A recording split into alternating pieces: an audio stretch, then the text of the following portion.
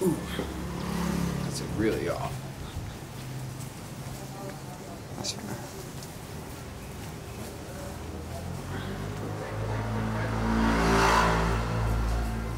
Do you have a strip club addiction?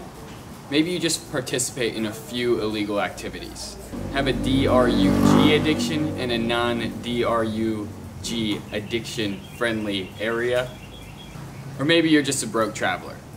What do all of these things have in common? Exactly. They require dead presidents, cash money, that paper, if you will.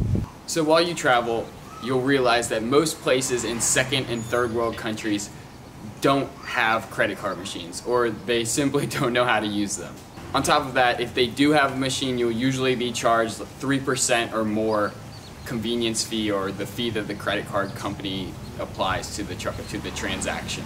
So what does that leave you with? Pulling cash out of ATMs. Once again, fees, fees, fees. So so many fees.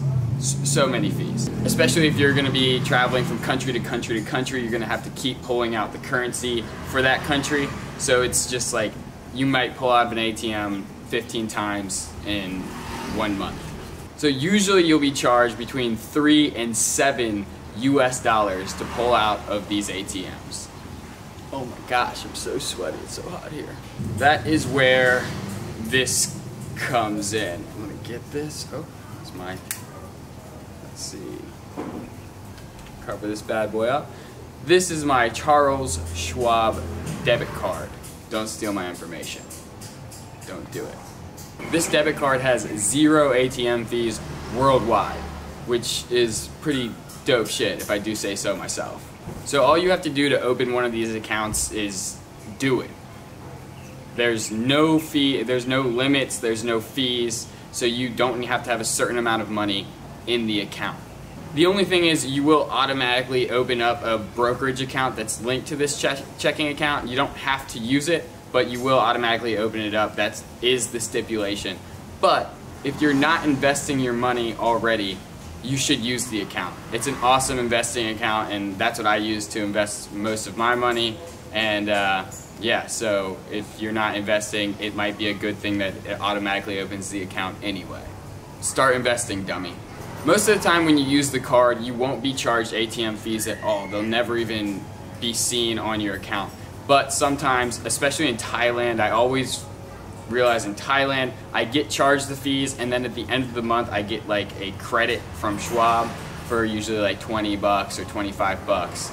And uh, yeah, but that's only happened to me in Thailand. Literally nowhere else I've been.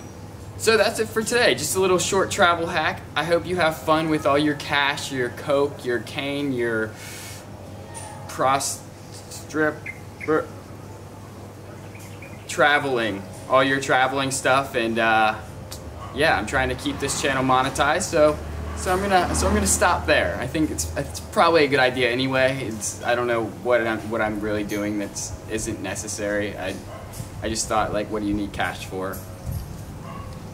Traveling and D R U G S motorbike.